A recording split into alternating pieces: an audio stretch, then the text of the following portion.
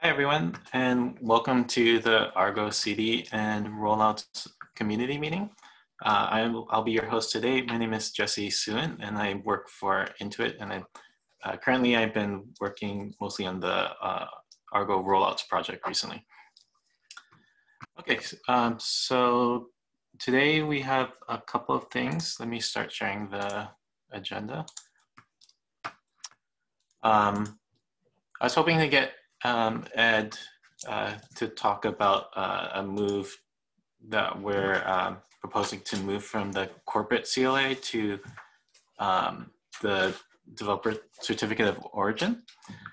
Um, that was just a, a, quick announcement, but generally, um, the idea is that uh, this is most CNCF projects are actually on this, but it implies that you will have to sign all your commits uh, when you're contributing to uh, the project. And there's a, um, uh, we'll have a bot that is essentially just checking, uh, similar to the CLA bot, uh, making sure that all your uh, commits are signed. and by signing a commit, Git has a flag um, that just indicates that you're signing off on your commit. Um, and the bot will basically just check to make sure it has that um, that signed off on as part of the pull request. Um, okay, so uh, today we have a special guest, uh, Matthew Clarke from Spotify, uh, and he will be talking about how um, they're currently um, using Argo rollouts at Spotify. Uh, Matthew, are you ready to share? Yep, I can start presenting now. Okay, thank you.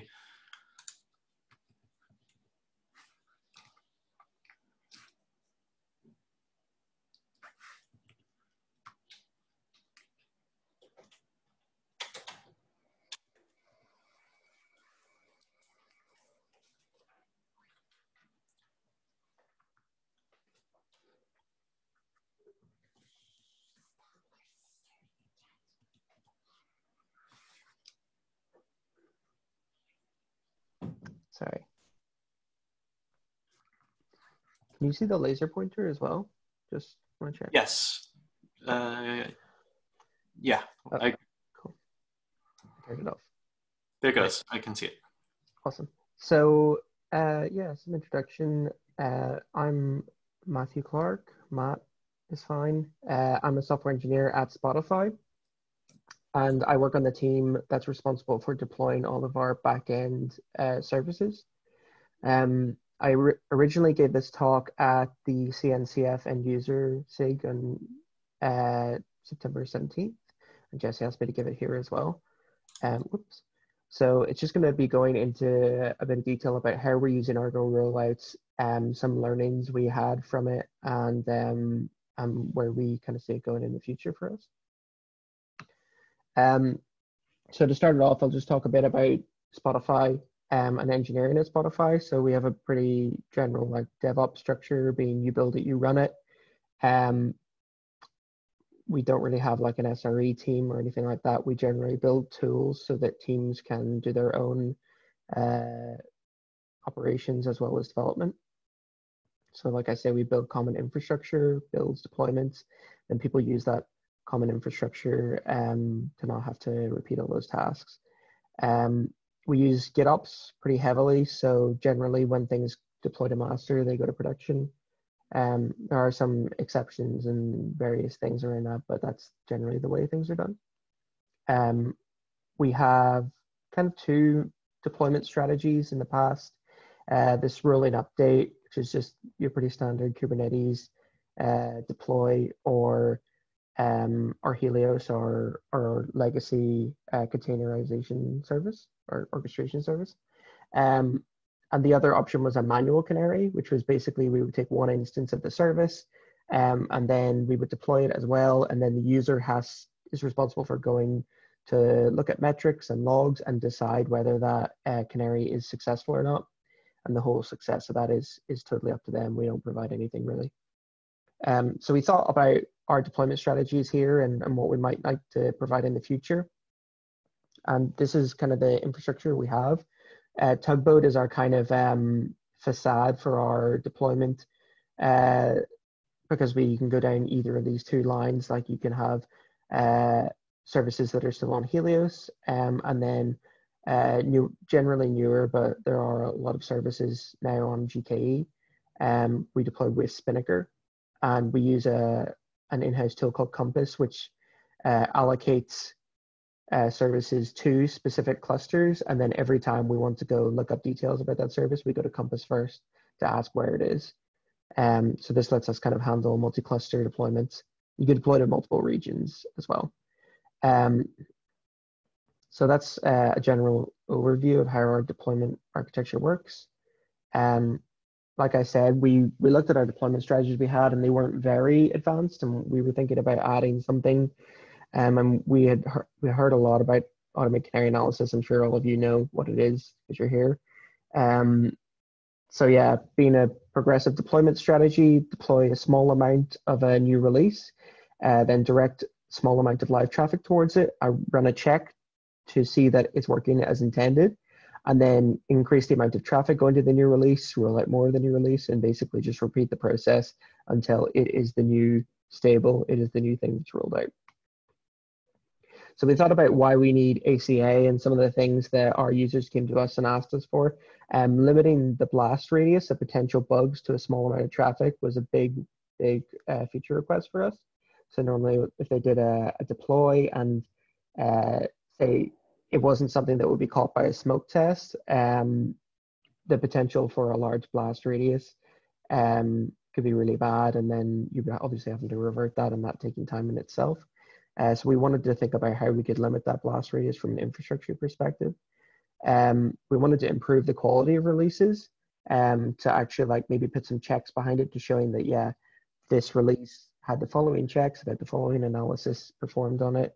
Um, automated rollbacks was another thing that we really wanted um, for users to kind of just not worry about that on manual canaries. They had to manually roll back if they decided that it wasn't correct. Um, and we wanted it to be completely automated. We wanted it to be uh, like declarative. We wanted it to be pretty hands off, and pe people trusted that it would just work. Um, so when we looked into this, we had a couple of choices, and one thing that obviously came up was Kayenta because we were already using Spinnaker. Um, some things we found about it was that the config was very complicated and didn't seem to be customizable for our use case uh, we kind of thought that there would be a lot of work to integrate this, and there was no easy way for us to integrate this with Heroic. Uh, Heroic is our time series database that we use for all our metrics. Um, we had the idea to just custom build a whole bunch of functionality on top of Tugboat to take care of this. It was already our facade, so we thought maybe we could just uh, do it there. Um, the problem was that we thought we weren't really utilizing open source, and that's really something that we're trying to do as, as much as possible. Um, and when we looked at a service like Flagger, the problem for us was that you need to have a service mesh, and we don't have a, we don't really use a service mesh right now. Um, but when we saw Argo rollouts, that was very promising for us. So, in an overview uh, of it, I'm sure you all know what it is, but I'm going to explain it again. Uh, a controller runs on each cluster and orchestrates uh, Canary rollouts. And instead of a Kubernetes deployment, uh, you put a CRD, which is called a rollout. Uh, that's what you actually deploy to the Kubernetes cluster. And users can define their own canary steps through a bunch of sequential steps. You can see an example here on the right. And there's three different type of steps. You can have set weight, which decides how much traffic goes to the canary. You can have pause to weight a defined period of time or you can have the analysis step, which is where you judge whether the canary is successful or not. Uh, and we'll talk about analysis runs in a second. So you can see those examples here. We're set, setting wait 33% of traffic to the canary, pause for five minutes, and then run our template here, which is called acceptance test. And this is a kind of sneak preview to the UI that we've added into uh, Backstage that I'll go into in, in a minute.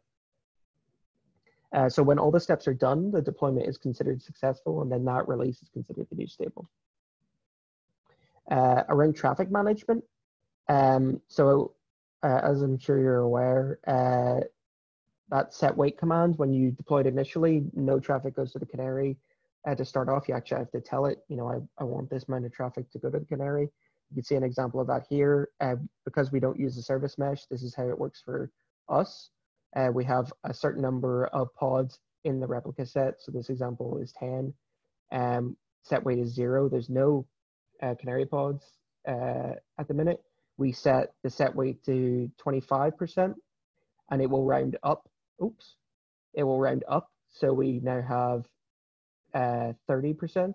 So 30% of traffic goes to the canary replica set and the remaining 70% goes to the stable version.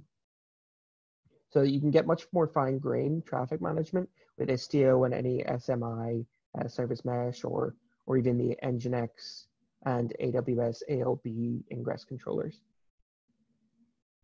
Uh, in terms of analysis, users define these analysis templates. Um, every time I click the zoom, the laser pointer disappears. Uh, add, and they can add them uh, as analysis steps in their canary. Um, so the controller will turn these into analysis runs. Um, so an analysis run, uh, if it passes or fails, will determine whether the canary is successful or not. And you can get uh, lots of different types of uh, analysis runs. You can have a Kubernetes job. Um, a, you can have it called Prometheus. You can do a HTTP GET to what another system if you have that, or you can talk to Kayenta running in standalone mode. Um, at Spotify, we're using Kubernetes jobs extensively, uh, where a pass is when the exit code zero is returned, and a fail is where the exit code one is returned. You can see what kind of happens here. The Argo rollout controller creates our analysis run job, and it goes out to Heroic, our time series database, and and runs a and runs a query against that. And so users will define their query, and they'll define their threshold. And if that threshold is broken, then the deploy fails. And this is the sort of thing that users will define They'll define a metric and then in here the job um, and then the spec and the container to run. So this would be our analysis job that we run. Cool. One problem that we have with analysis templates when we were first looking into Argo rollouts is that we came up with a bunch of analysis templates and we put them up on our documentation website. Um, and our initial users had some problems with that, which is that it's easy to make a mistake when you're copy pasting. And we even actually accidentally put a mistake into the docs and then people copy pasted that mistake everywhere which was a bit of a pain when we discovered it so we wanted to get kind of get rid of those sort of things coming up um, as well as it being quite verbose like just this part here is what the user is defining all the rest of this is um, is copy pasted really uh, so users had a lot of this manifest boilerplate in the repo and we wanted to reduce that uh, we also wanted to keep that tugboat abstraction uh, and not necessarily let users know that we were using Argo rollouts for canaries. Um, so we didn't necessarily want them to deal with analysis templates themselves. Um, in order to improve this in the developer experience here, we contributed back this idea of cluster analysis templates, which are cluster-wide analysis templates. Uh, and that allows us to centralize those analysis templates into a repo that my team are responsible for. So what, what we do there is we provide these cluster analysis templates and then users can just uh, say that the template they're using is cluster scope uh, and they can use those cluster analysis templates that we provide. And so we can, this makes a much easier onboarding experience for users because the analysis templates are already there. They don't have to go create them. And they can just add some arguments and put some overrides in if necessary. Um, and this actually turns it around so that users only have to change one file in their Git repo in order to get uh, ACA, which is really nice.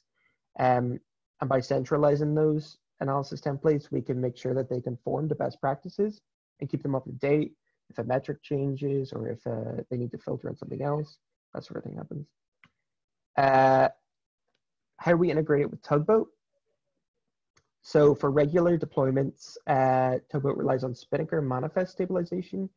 Um, and this looks at the Kubernetes components that Spinnaker is deploying, and then it has internal logic to decide whether the, that deploy is done.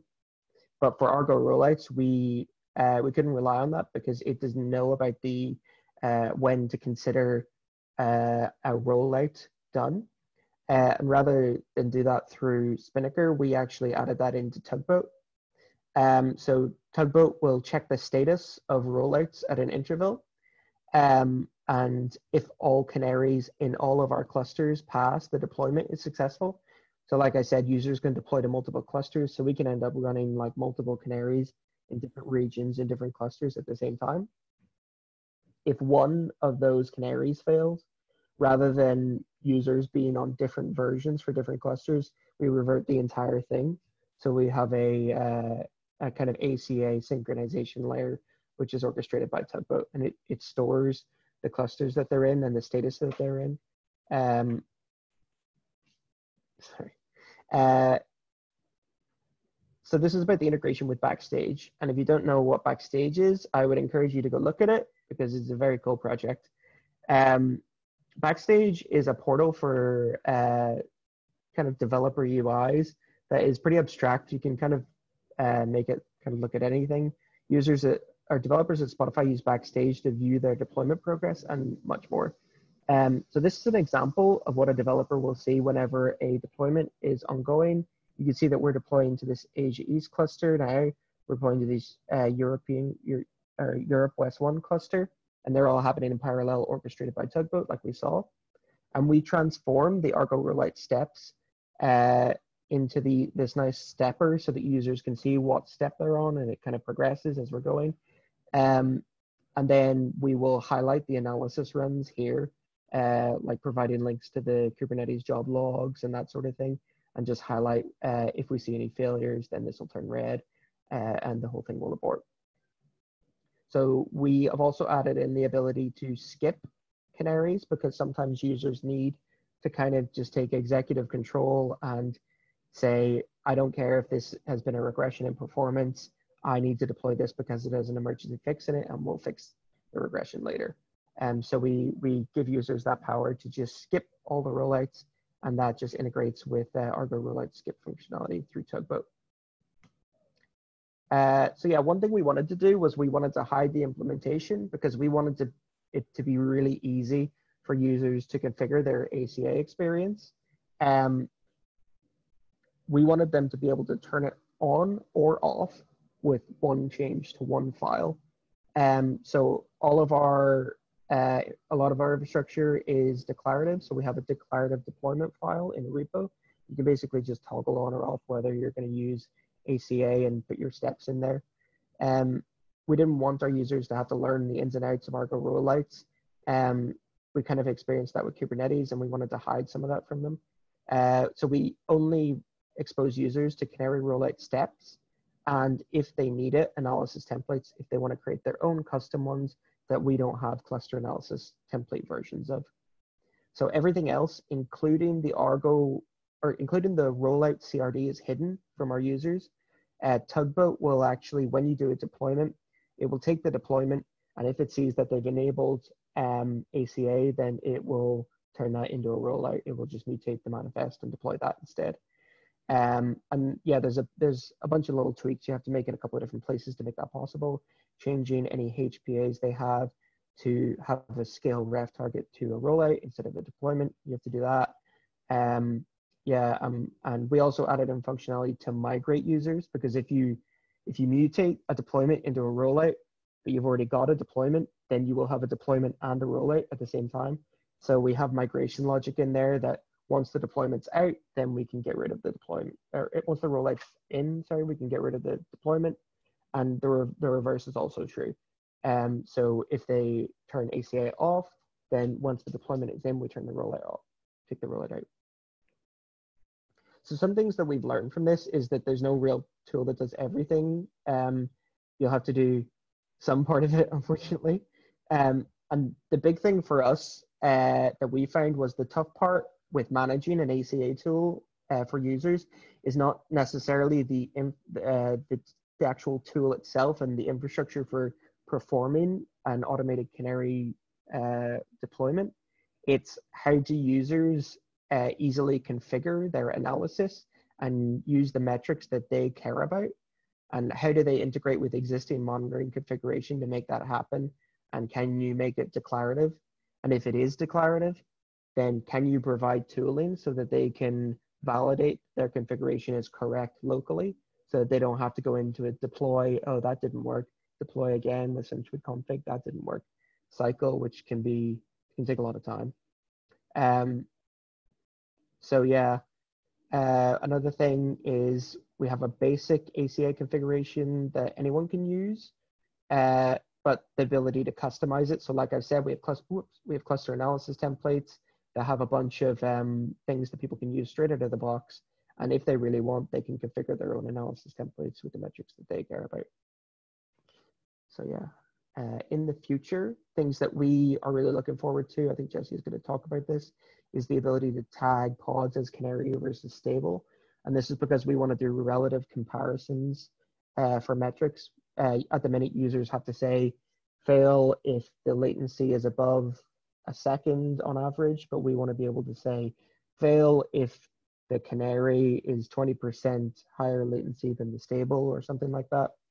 Uh, we want to provide more local tools from users. We want to kind of look into, like I've said, uh, making it easier for users to configure their ACAs. And further Spotify tooling integration, and then some things that are coming in the far future for us would be better traffic management, maybe integrating a service mesh with AC, our ACA tool, possibly integration with Kayenta, um, and supporting blue-green deployments. Cool. Uh, that's it. Um, I have some time if anyone wants to ask any questions. Just stick them in chat. I'll try and see if I can work it. Uh, so Omar had a question uh, from chat. He's asking, do you also use Argo CD? We don't use Argo CD. Um, so that is mainly because we use Backstage uh, for everything. Um, and we have another team who is responsible for uh, for our builds and um, it just didn't seem, seem like the right tool for us, but Argo rollouts was, I think.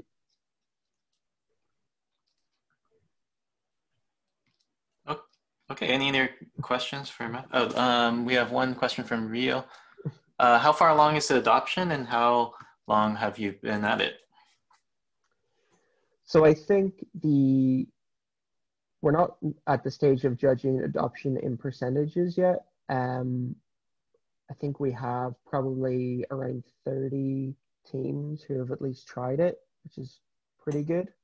Um, I'm kind of hoping that we can go GA internally uh, soon, and then that will increase adoption, and then we can consider um, turning it on by default for users if that's if if users want that.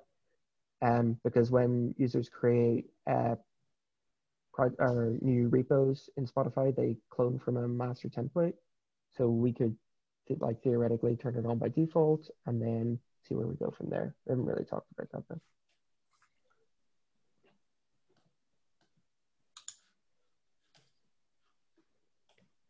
Okay, any other questions from Hey, Matthew, uh, great job. So I have a question about the Spotify infrastructure a little bit, just like wondering like how many Kubernetes cluster you guys have and how big is the cluster, how big of those clusters? Yeah, I don't know if I can really answer those questions. Um, I don't know if I'm allowed to, to be honest, sorry. Okay. Um, I will look into it and uh, I can respond on Slack. Thank you. Cool. Yeah, so if there's any other questions, just feel free to um, at me in the Argo Rollouts channel. Um, uh, I'm usually pretty active in there. All right. Uh, thanks again, Matthew. I, I know you have to drop off now, but, um, but yeah, thanks again for um, for uh, taking time to present to us. I know it's also uh, late for you. Yeah, that's all right. Uh, it's half six. But, all right. See you all. Bye. Thanks. Uh, okay, looks like we have Ed back, and then uh, he can cover the um, the CLA to DCO um, uh, decision that we're proposing in the Bootstrap committee. Uh, hey, let me share my screen here. Okay. Yes, so um, since now that uh, the Argo project is part of the CNCF, uh, we wanted to update our uh, you know, contributor licensing agreement uh, or DCO uh, in order to kind of uh, better follow CNCF guidelines. and the CNCF actually allows projects to use either, but I think the but about like 80, 90% of projects use the DCO, which is kind of a simpler, lighter weight version. So let me just show you the DCO here. Uh, uh, the CLA, of course, is kind of a long-ish document, discusses things like intellectual property rights and stuff like that, uh, which of course is needed to ensure that like users of the Argo project are, you know, guaranteed that, provide some guarantee that uh, you know, they have to write to use not only the source code, but any, uh, you know, patents or intellectual property associated with the source code. The DCO provides a, you know, very similar level of protection. Uh, the Linux kernel actually uses it as well, as well as, you know, I was mentioning like 80 or 90% of CNCF projects. It's a much shorter document. DCO stands for Developer Certificate of Origin. And it basically uh, mainly says, you know, that, you know, I have the right to contribute this work to this project. Uh, that is, you know, in, uh, that is consistent with the open source license that the project is using. In the case of Argo, that would be the Apache 2.0 license. And also that, uh, you know, I understand that we will be keeping a record of my sign off, you know, to, recording my agreement to contribute this work. So that's basically what the DCO says. Uh, from a kind of day-to-day operational perspective, it means that uh, all commits should have a sign-off tag, which you know, very conveniently can be generated simply by running commit with a dash as, as flag. So, so most developers should already be, I think, very familiar with it. So basically, instead of just doing git commit, you know, blah, blah, blah, you would do git commit dash s, you know, blah, blah, blah. So any, uh, any comments or thoughts?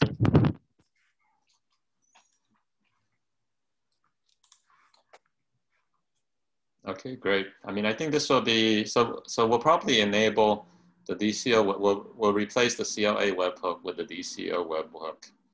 And, but you could, you know, immediately now start doing commits with dash S. So all contributors should just start using commit dash S to sign off on your commits and everything else should be automated. Okay, thank you.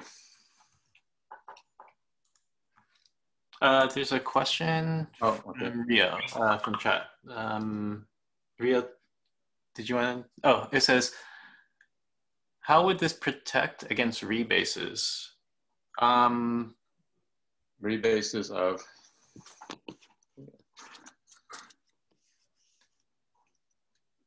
You mean if someone like copies, uh, redistributes uh, code, code from the Argo project? Oh, it says, wouldn't it overwrite the commit message? Um, oh, no, no, no. Yeah. Yeah, the commit, uh, this just adds a signed off colon uh, to the end of your commit message. Yeah, I think the, the dash S option is really just a convenience to add that text to every, to your message. You're good. Exactly. You can also manually add this, but obviously it's easy to mistype it. So you know, most people just do commit dash s, and then it takes care of everything for you. I know that uh, Argo, all Argo repos are configured to squash commits. So basically, even if we get a PR and it has five commits, and then we merge, we ended up having one commit. So does it mean like every approver, whoever merges, need to make sure to keep this sign off by? Uh, no, in a, uh, Yes, you should. When you when if you are uh, editing the merged commit message, you should make mm -hmm. sure that you know you you preserve the signed off mm -hmm. by you know colon. Yeah. There has to be only one of them though, so you could delete all the extra. Yeah. Mm -hmm.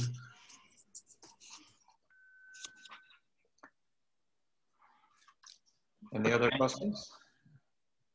So, so overall, a much more streamlined experience. Like this is obviously much easier to read than a CLA. CLA is like two or three pages.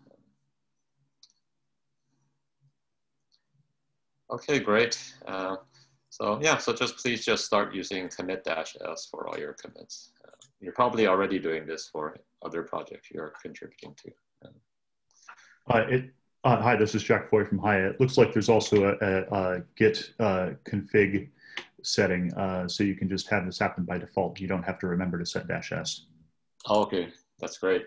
Uh, there you go. Then you just need to edit the. So we'll update the read uh, our project README with those options, uh, and then probably in a couple of weeks we'll enable the hook so that if you forget like to do the commit dash s or include the sign off, then the bot will remind you. Thank you for that tip. That's great.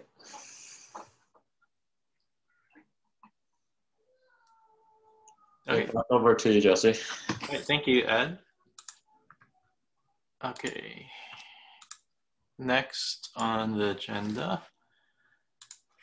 Um, so um, another topic that we've been uh, discussing in the uh, the new Bootstrap meeting um, uh, is community membership. Um, so before we uh, had the very rough um, membership guidelines, um, and it wasn't clear um, what it took to become, say, a member or re reviewer approver. Uh, and so, um, so we formalized this in a uh, document, and this this is currently in review to the Argo Proj Argo Proj um, uh, repo. So, um, and right now we're, we're asking for uh, soliciting feedback from the community about this. Uh, so this is largely adapted from the Kubernetes um, membership guidelines as well as and open telemetry is also um, uh, pretty much the community membership, uh, Kubernetes community membership guidelines but with uh, some uh, modifications. Um, so ours is kind of similar. Uh, we, in, in summary, we have four roles, uh, just like uh, Kubernetes. We, the, the first three are named exactly the same. Um, and then instead of, I think Kubernetes might use the word maintainer or owner, uh, but uh, we chose to use the word lead. Um, and what this document is outlining is essentially uh, the requirements of becoming uh, um, like achieving membership reviewer approver roles, um, as well as the expectations of responsibilities and privileges. Um, again, these these are mostly the same as um, in the Kubernetes and OpenTelemetry, although we tweaked some of the requirements. So such a like Kubernetes, I think requires things like uh, I think a longer duration of membership. Um, they require more um, uh, code uh, PRs to submit, and um, and also for Argo project, we um, we added some more responsibility about uh, things like being able to triage uh, PRs and, and kind of more in community interaction uh, engagement. So we, we're trying to promote uh, more uh, members to to engage with the community and get, and so we can have uh, prom, uh, promote the Argo uh, project community. Um, so I'm not going to actually go through this in detail, but um, I'll just link to this in the um, uh, agenda and and ask for people's feedback as we um, work on um, merging this proposal. And right now I'll stop for questions. Let me look at the chat. Um, um, okay, any questions so far on the Argo Project Community membership guidelines? Uh, oh, one thing I forgot to point out is um, uh, the the rules are per um, per project. So I mean, obviously, for a member, like when you're a member of Argo Project, you would be um, a member of the Argo Project organization.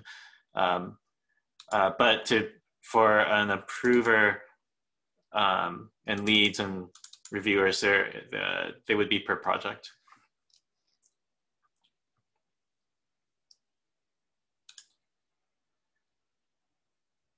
Okay.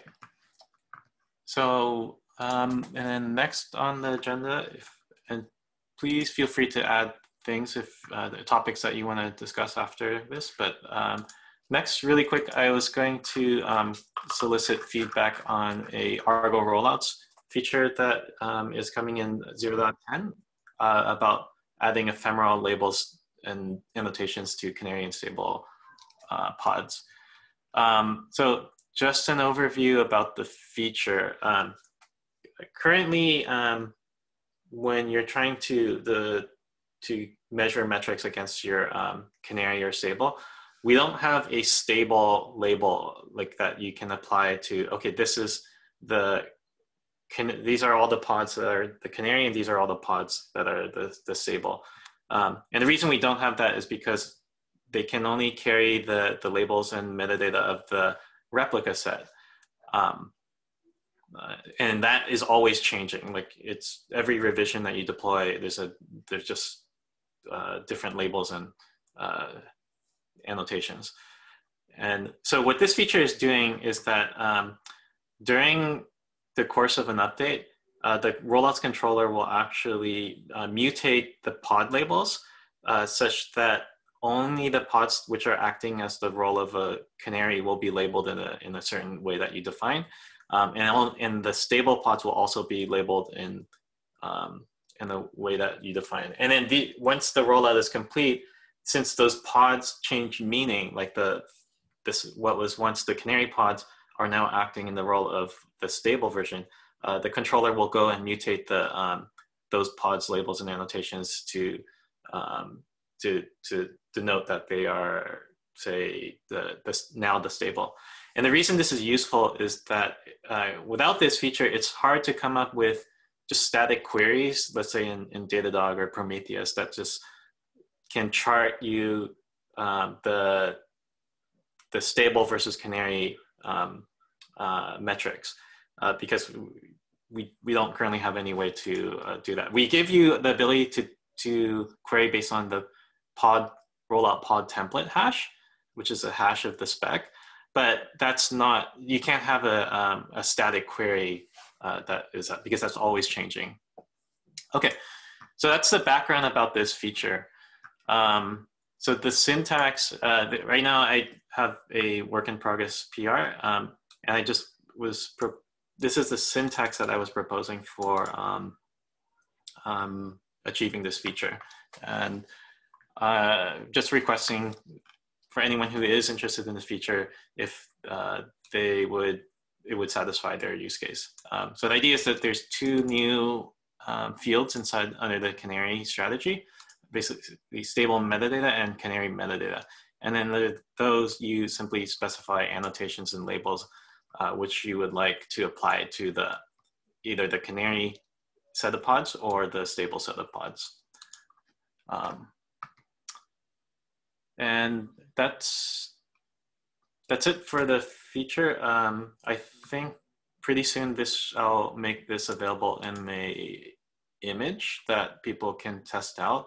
Uh, one of the big questions that I had when developing this uh, this feature is that um, changes to labels after the fact, after a pod starts, um, I was concerned that sometimes the the collectors or whatever um, metric collectors are, are are scraping those things maybe aren't um, detecting those changes after the fact after they um, they start. Because I know for things like you know like environment variables or something um, you can't you can't change the environment variable after the fact. Or or if you change annotations and you and you downward API mount that to um, a pod um, it's up to an application to actually recognize changes to those annotations um, later. It, the, the, so something has to watch that file and then say, oh, okay, the, some, the annotations changed, and then maybe do some updates. So there's still some questions on, um, um, okay, even if we mutate the, the labels and annotations after the fact, will tools still be able to recognize this? And I did verify, at least with Prometheus operator, that um, the changing labels of pods are reflected in the metrics that the, the operator uh, is scrape. I think it's like just kube state metrics is, is scraping. Um, okay, so that's this. Um, I know there's not too many rollout users in the the channel right now, but um, uh, for people watching on the recording, uh, yeah, this is your time to kind of uh, give some feedback and then um, shape the way that this looks. All right. Um, okay, so we've actually come to the end of our um, uh, agenda items. And so at this point in time, I'd like to kind of open it up to uh, the floor to see if anyone any other topics that they'd like to discuss.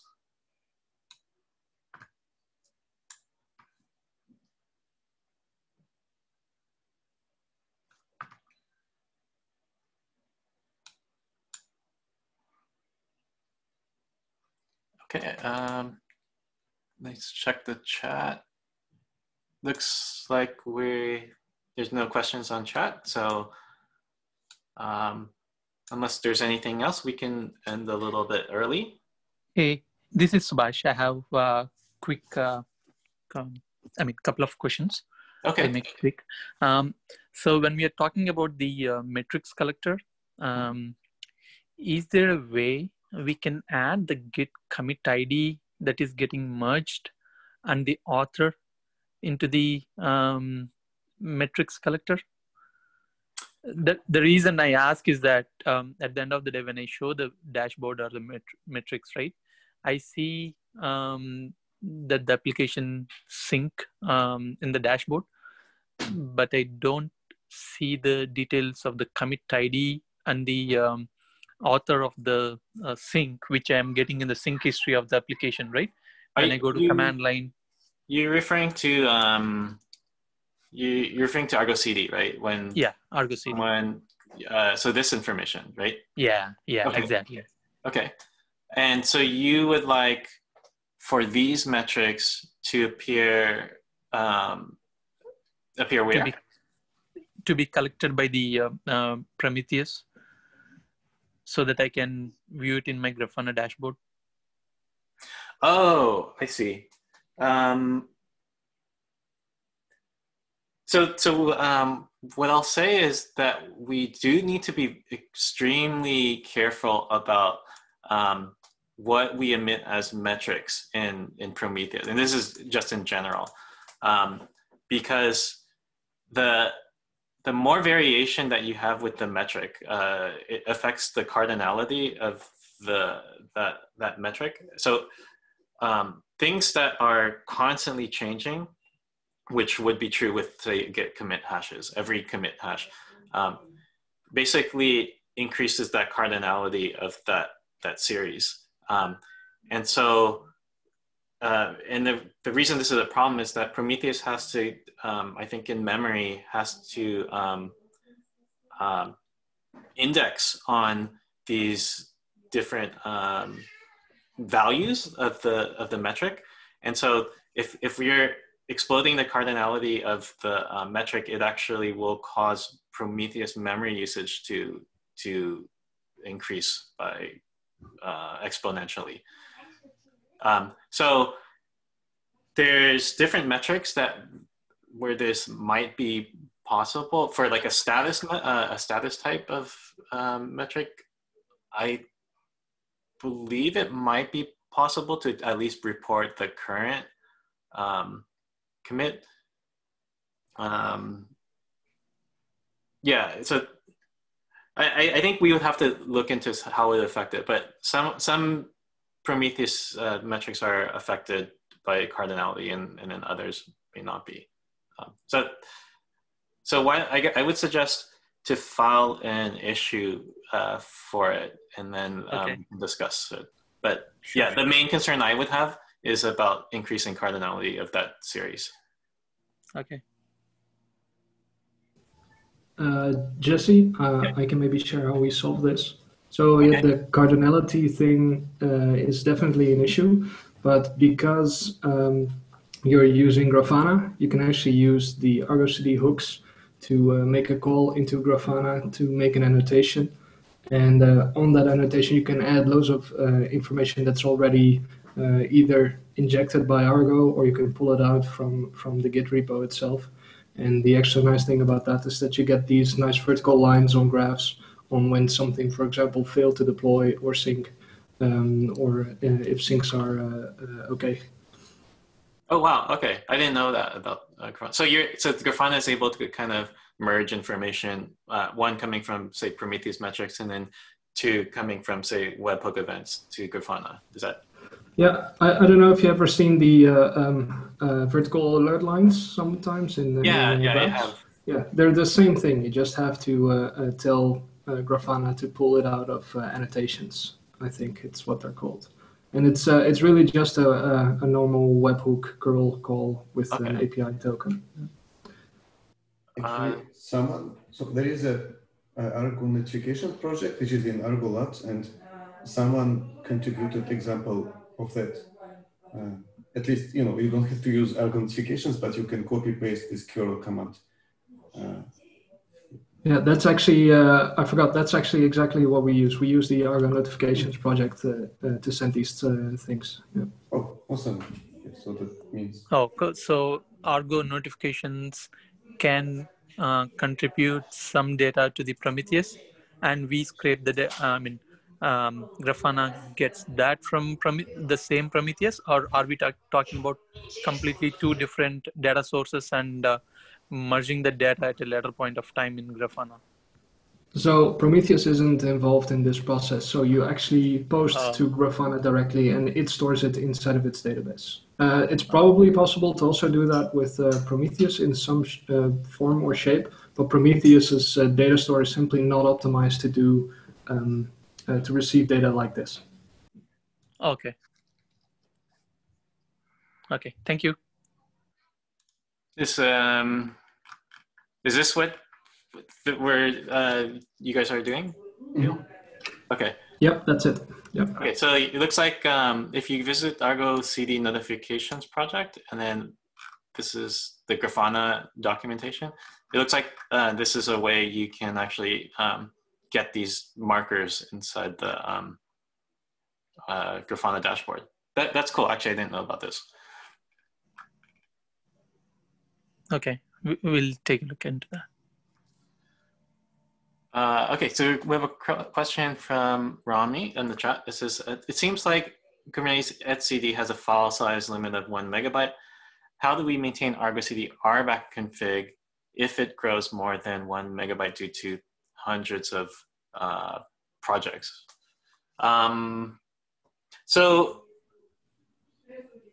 one question I would have, um, so so projects actually have their own um, um, RBAC, and so we we actually have thousands of projects. Uh, one uh, one project per service, um, and and we in in our I think um, environment we actually map.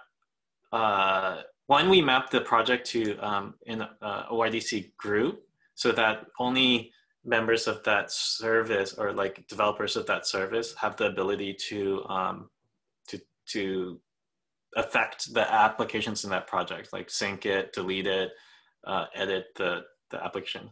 Um, so all of this is actually um, configured in the and stored in the um, application project CRD. Um, so if you're adding things like roles, like like okay, the I'm this let's pretend this is like an admin role, and they can do star on everything in the default project. Um, so we would when when you click update, this would store that inside the project and not the um, the central conf, uh, config map. And I I doubt that you would have enough content and roles in a in a project level to fill up one megabyte. Um, and I guess is that something you would be able to do, uh, Rami?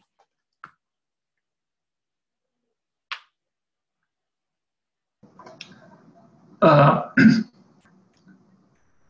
uh, actually, sorry, for each application, right, uh, we have uh, around, uh, I think, uh, uh, maybe uh, 10 to 12 lines in that RBAC config map for like uh, editor, viewer, and uh, Mhm. admin uh, with different like uh, access applications, get update for editor and for admin all star and uh, viewer something uh, for uh, uh, with get access. So let's say if we have uh, maybe hundreds or uh, close to thousand uh, projects or apps. So for each app, we'll add like at least uh, 12 to 13 lines in that RBAC config map. Uh, so obviously that file will grow, right? Uh, right now it in KBs, but if it grows like until or after 1 MB. Right. So, so my question was that um, RBAC can actually be configured um, not only from the the central Argo CD um, config map, but it can be configured inside in inside the project, which is would be distributed uh, across your 100 uh, projects. So you mentioned you have a 10 lines uh, per project. Why wouldn't those pro- uh, those 10 lines be contained um, like in in here? And I, I just I wanted to add to it. I know that this is not really documented, so it might be the reason you know you're not aware of it, Rami. But basically, the same RBAC configurations, you know, which you are describing, it can be replicated in Project CRD. And JC is showing you UI, and that UI, you know, you can use it to configure RBAC rules in Project CRD, and you can do the same declaratively, you know, in just if you create Project CRD manually. Uh, okay. So actually, we are using the RBAC uh, through OpenShift uh, config map. Yeah, that is, I mean, you can, uh, like, imagine if in your RBAC, I imagine you have uh, a mapping between OIDC group and bunch of rules. So you can have exact same configuration here. So right now, just showing you this field where you can put your OIDC group from uh, OpenShift, and then policy rules. That UI is just a wrapper for the same type of rules, you know, which you configure uh, in normal RBAC configuration. So, and here you can define this like 10 lines where you can say users of that IDC group can sync or, you know, Yeah. whatever rules you have. So I could like if this is um, Okay. my my group, I would then bind um, members of this OIDC group to this role in this project. The the only reason I would suggest people to use the um, the centralized config map uh, RBAC uh, is when you need to span like you need a user to um, or credentials to kind of span multiple projects. So we uh, because everything I put in here um, will only be scoped to the applications in this project it's called default. Uh, so if you need to span, if you need some uh, thing to kind of uh, like a service account to do things across all projects, uh, then that at that point I would use the Argo CD config map or RBAC config map. Otherwise, uh, I recommend um, uh, containing it per project because it's, it's just more manageable this way too. Okay. So in this case, uh, only this group we have to mention in that RBAC, right? That uh, that gives access whatever we have defined here and under the policy rules.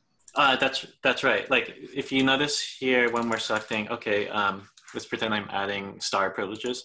Um, all of these things are only for the default project, and I think if even if I tried to to change it, I think this should block. Um, uh, oh, sorry, I'm not even logged in, but um, it we we would disallow this role being able to um, access across projects. So these roles that you see from the UI are, are scoped to only the applications in in whatever project is in this project. Okay. Okay. Um, okay. Any other questions? We have about two two minutes. I'm happy to stick around. To...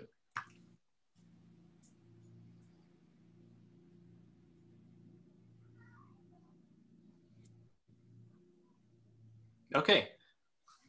Um, well, thank you everyone for attending this week's uh, community meeting. Um, next in two weeks will be the workflow and events. Um, all right. Thanks, everyone.